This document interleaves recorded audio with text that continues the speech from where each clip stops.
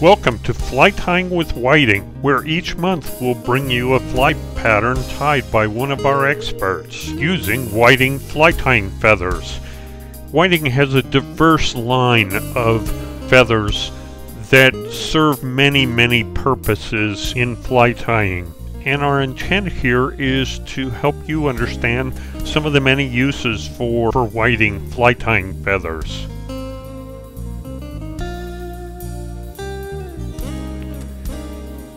Whiting genetic light tying feathers can help you tie better flies and be more successful out fly fishing.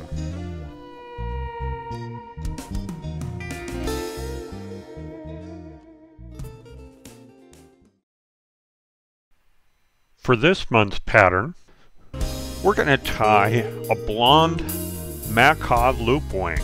This is a classic dry fly pattern that I was inspired to tie by my fly tying mentor, Andre Puyans. A pattern very similar to this graced his logo in his fly shop for many years. The fly is a very delicate pattern, and it, it leans more toward the artsy side of fly tying, so I hope you'll enjoy learning to tie this magnificent pattern. For the materials on this fly, We'll start with a Daiichi 1180 size 14 hook, Veevus 16-aught black thread. We're going to use a Whiting 4B's rooster saddle in ginger for the tail. For the body, we'll use Macaw tail fibers, which are a blend of blue and yellow. The wing is barred teal flank feathers. The hackle is a whiting cape in ginger. So let's start with our Daiichi 1180 size 14 hooks and our Veevus size 16 aught black thread. I'm going to tie my thread on at the two-thirds point of the hook, which is where I'm going to ultimately tie in the wing.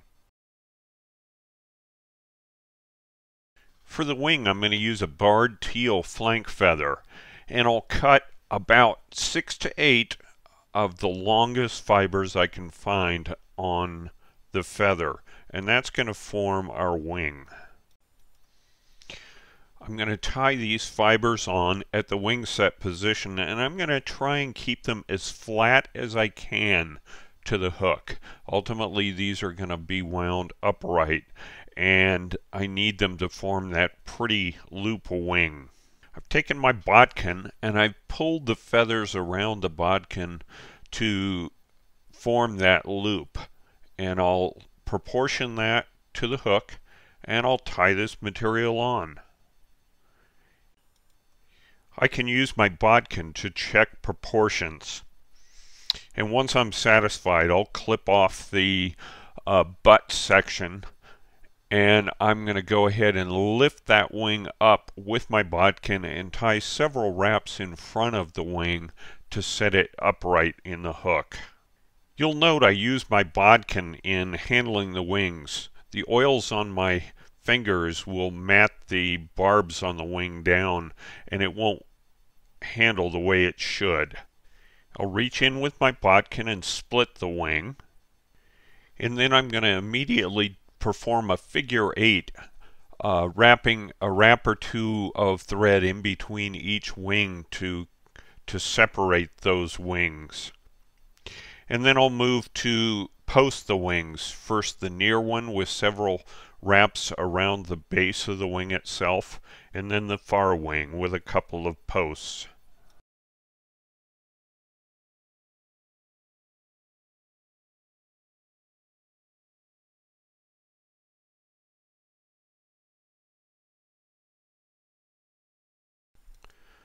These post wraps are very soft wraps so that I don't pull the thread off the wing.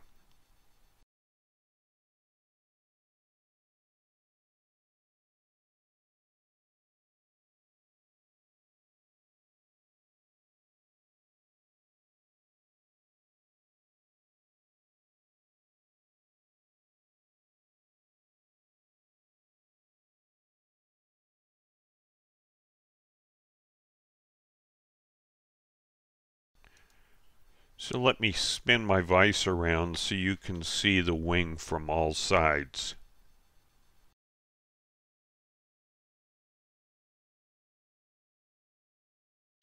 For the tail, I'm going to use a Whiting 4B's rooster saddle, and I'm going to choose a spade hackle up near the base of this saddle, where the barbs are much stiffer and much better for tailing material. So I've stripped off a section of barbs off the spade hackle and I'll tie those in right at the back of the wing and extending about two and a half times the gape beyond the uh, hook shank. You can see that gives me a nice tapered body using that that section behind where the wing laid.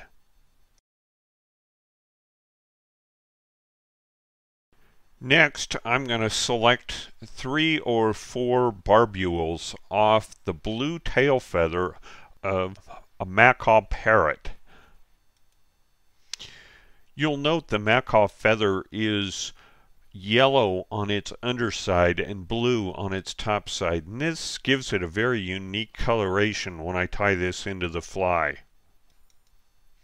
I'm going to tie the yellow fibers facing upward and the blue fibers facing down. So the first wrap I take with this feather will cause it to fold and I'll get the more dominant blue color to show up in the abdomen of this fly.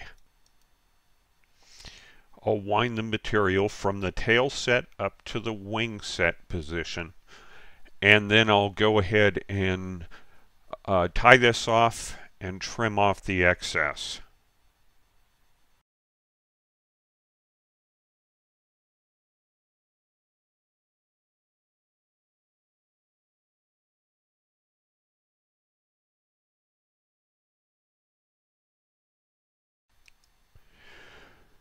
For the hackle, I'm going to use Whiting dry fly capes in ginger and I'm going to select out two hackles for this fly.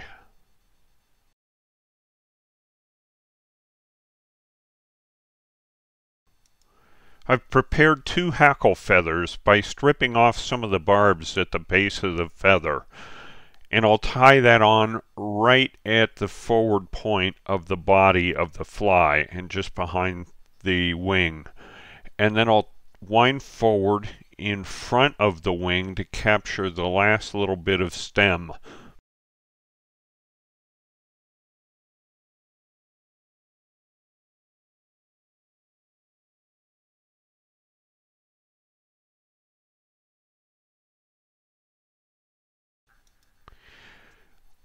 I'm going to wrap these two hackle feathers on as one.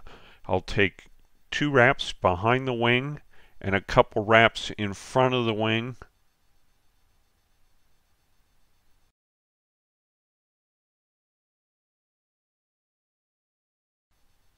And if I don't like exactly how it's laying, I'll pull it back off and we can start over again.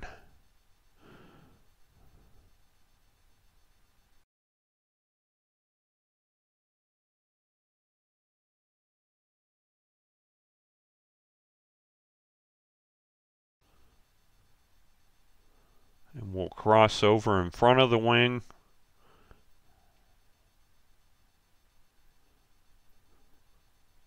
and take a couple wraps before we tie off. You'll note I'm always tying at 90 degrees to the hook shank to try and avoid any of these uh, fibers getting crossed up amongst one another. We'll take a few wraps and then clip off the excess of the hackle fibers. And if I've got any strays, I can clip those out as well. Just clean this up a little bit.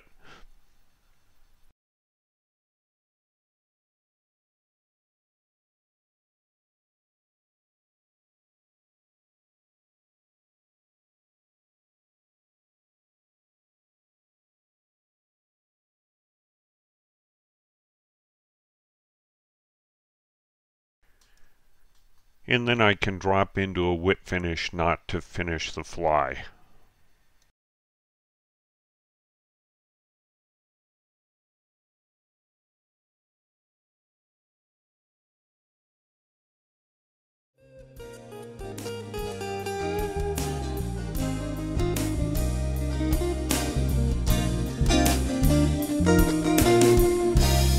Let me rotate this pattern around in the vise so you can see all sides of this artsy blonde loopwing Macaw Adams. I Really enjoy tying this pattern. So that has been this month's Fly Tying with Whiting. I hope you've enjoyed this program and please join us again for a future episode. Thanks for watching.